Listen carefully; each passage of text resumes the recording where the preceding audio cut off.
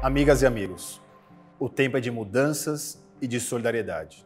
O combate ao coronavírus é um desafio mundial. Todos nós estamos no mesmo barco. Nossas melhores armas são a ciência, a informação correta e a responsabilidade individual. Agora, tem que ser todo mundo em casa para o bem de todos. O momento exige união. Aqui em São Paulo, nós estamos enfrentando o Covid-19 com muita seriedade e transparência. A doença é séria e, infelizmente, causa mortes. Por isso, sacrifícios são inevitáveis. Nosso esforço está todo voltado para que o vírus tenha a maior dificuldade de se alastrar e contaminar muita gente ao mesmo tempo. Decretamos calamidade pública na cidade para atender à determinação da Organização Mundial de Saúde e reduzir em pelo menos 60% a circulação de pessoas. Se todos nós, juntos, fizermos a nossa parte, protegendo nossas famílias, sobretudo idosos e as pessoas mais vulneráveis, ficando em casa o máximo que pudermos, podemos diminuir o ritmo do contágio e preservar vidas. Cada um de nós tem uma responsabilidade imensa em preservar sua própria vida e de todos os outros.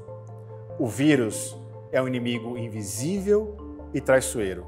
Todos precisam colaborar para não serem involuntariamente transmissores do vírus.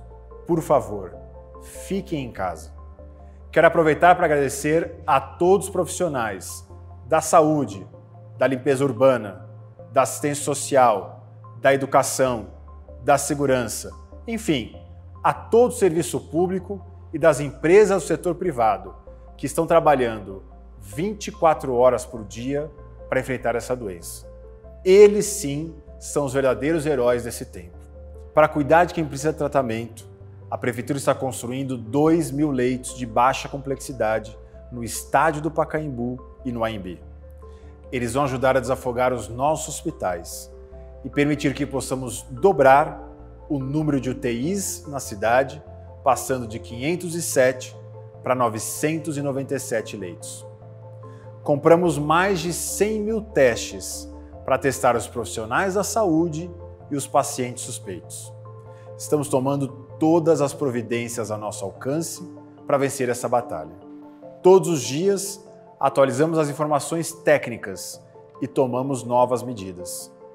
O foco principal é saúde, mas também estamos adotando medidas para atender a população mais vulnerável, para garantir que a alimentação das crianças chegue até as casas enquanto as aulas estão suspensas, que não falte medicamento nos postos-saúde, que os serviços essenciais continuem funcionando, para manter a cidade limpa, atuando para garantir que a cidade fique abastecida, reduzindo ao máximo os prejuízos dessa crise. Conto com vocês com o esforço de todos juntos, São Paulo vai superar essa crise. Eu acredito no espírito solidário, criativo e empreendedor de São Paulo. Mais do que nunca, temos de conduzir os nossos destinos. Por enquanto, fiquem em casa. Muito obrigado.